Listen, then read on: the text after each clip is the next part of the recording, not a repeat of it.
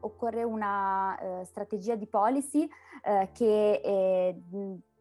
combini insieme più elementi e più strumenti andando a interessare sia il profilo individuale della disciplina e delle tutele del rapporto di lavoro che quello familiare.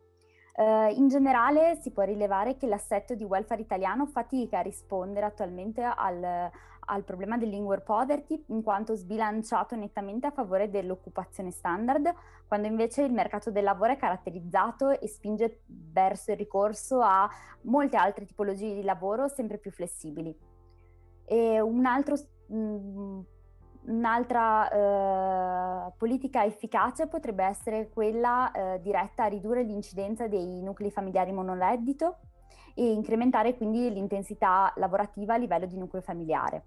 A tale proposito si deve tenere presente che eh, questo, almeno nel nostro paese, è legato in larga parte alla sottorappresentazione delle donne nel mercato del lavoro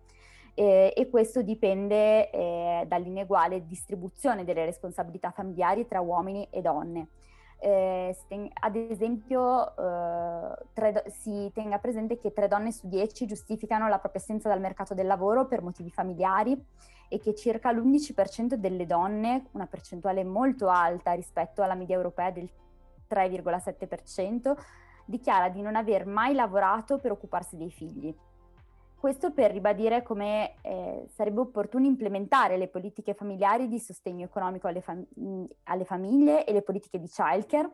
eh, per sostenere una maggiore partecipazione femminile al mercato del lavoro, garantendo cioè un maggior accesso ai servizi per l'infanzia, ma anche prevedendo misure ad esempio per favorire una maggiore redistribuzione delle responsabilità familiari, magari incentivando il ricorso al congedo parentale anche da parte dei padri.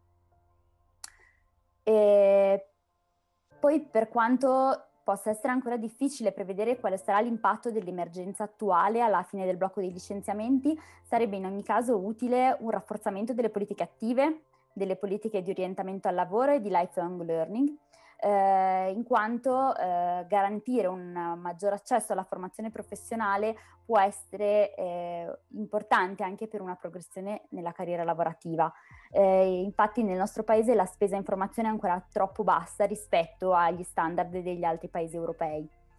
e queste misure potrebbero eh, produrre eh, effetti molto positivi anche nel senso di limitare nel tempo il protrarsi di situazioni di povertà e vulnerabilità.